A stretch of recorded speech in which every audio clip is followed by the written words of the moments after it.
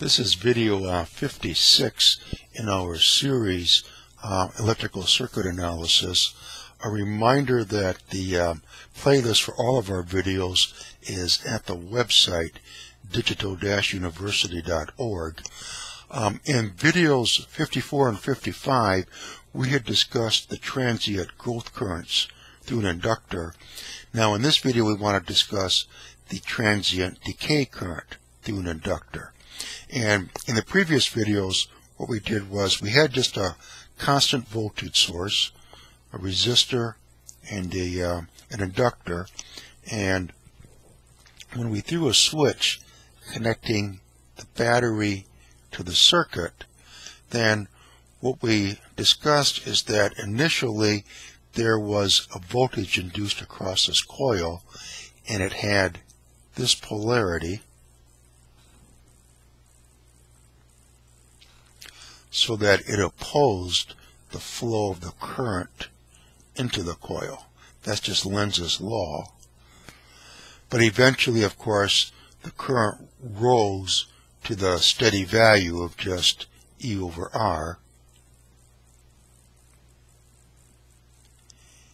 And then once it reached that uh, maximum value, it didn't change anymore. And since the voltage across the coil depends upon the rate of change of the current, when the current reached that steady value, there was no longer a voltage induced across the coil and just had a current flowing through it equal to E over R. But in this inductor, in this coil, there is a magnetic field there. Now, if we were to um, remove the battery from the uh, circuit, say at time t equals 0, write it here, at t equals 0, the battery is still there, and the current that's going through the coil is just E over R. And now a fraction of a second later, at t equals 0 plus, let's say we, we remove the battery out of the circuit. So now this is gone. So there is no more voltage source. Therefore, there is no current being going through the uh, circuit. But in the coil, there still is that magnetic field. But now with no current flowing through the coil, that magnetic field is going to collapse. Remember now that when we did have the battery here, and we hooked it up, and initially there was this induced voltage of this polarity, this is why this is why while the, the current was slowly increasing, with the magnetic field expanding, now of course the battery is gone, and the magnetic field is collapsing. When the magnetic, when the magnetic field collapses, the magnetic flux cuts across the lines of the coil here, and it will once again induce a voltage across the coil, but the collapsing magnetic field induces an opposite polarity. So, now it is like this.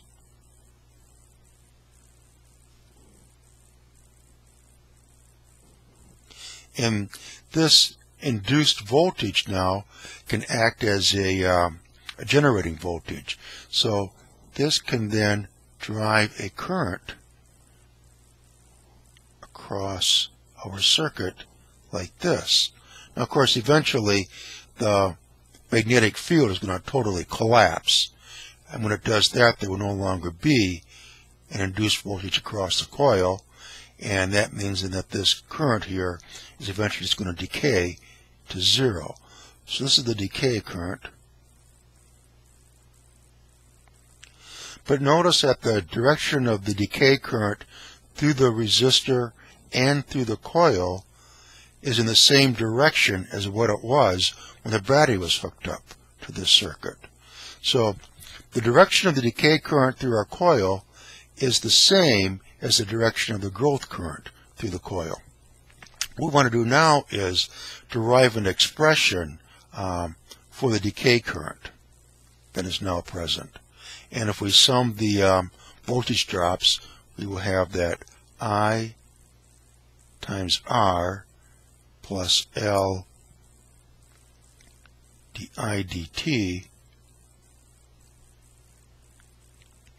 equals zero. We want to solve for I.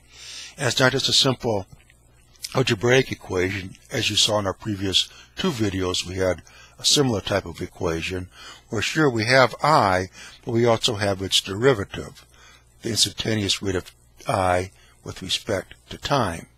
So once again, we have to solve a, uh, a simple differential equation. So we bring this over to this side, and we have minus IR. And you can see probably already what, how we're headed with this. We can bring I over to here, so we'll have di over I. And of course, when you integrate something like that, that is just the natural log of I. So what we'll do is divide both sides of the equation by I, multiply both sides by dt. So we have L di over I equals minus R dt.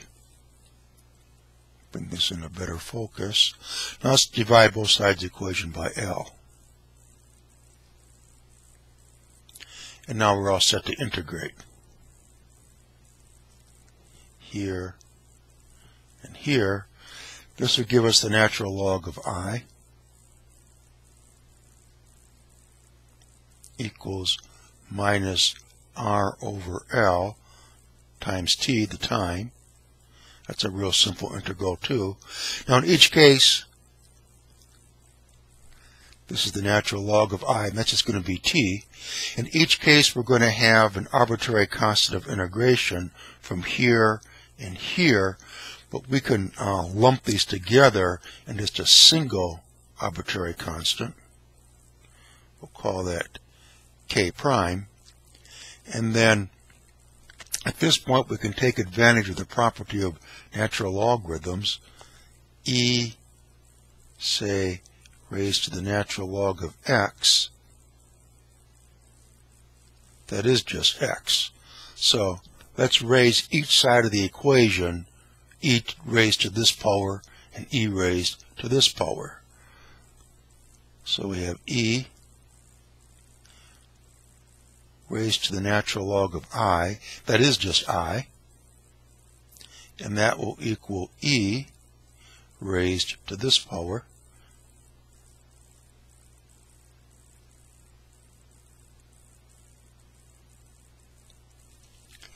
Now, here we have in the exponent, we're summing two terms. So that would be the same thing as e to the minus r over L times t times e to the plus k prime. Because when you multiply, you add exponents. So this expression and this expression are the same. This is just a constant, and of course E is a constant, so we can just call this a new constant. Call that K. So this equals K times this.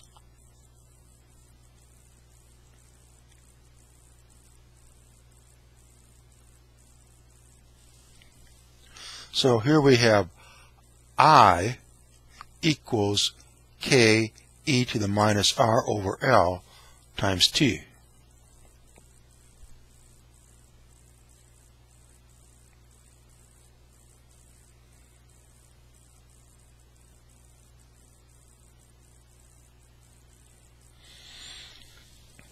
Now, k is a constant. If we use through our initial conditions, we can find out exactly uh, what kind of constant k is, because we know that back here, just before we took the battery out at time t equals 0, the current flowing through the coil was just E over R. So let's make use of that. When t equals 0, I equals E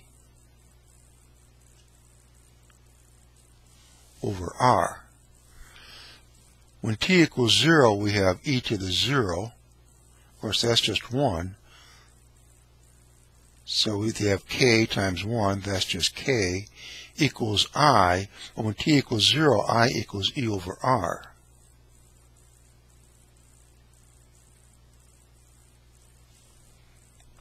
So we know what k is. k is just equal to e over r, so let's put that in.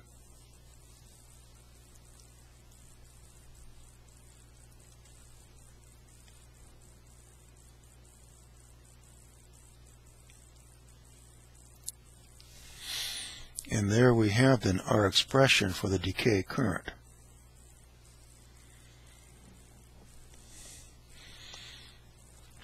So we can see that here, this is a negative exponent.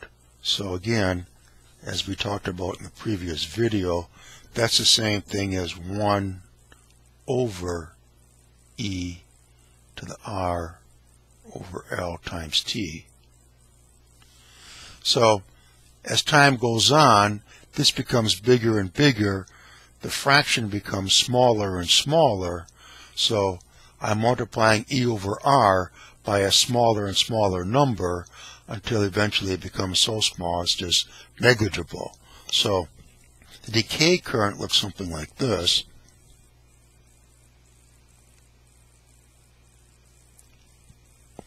Here's time. Here's the current. It starts off at a value E over R. We know that. And then just exponentially falls off to zero. So that's the decay current.